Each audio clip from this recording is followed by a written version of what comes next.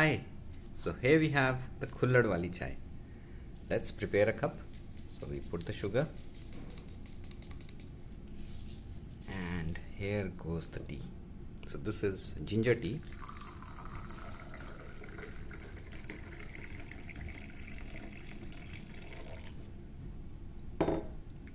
Enjoy a hot ginger tea.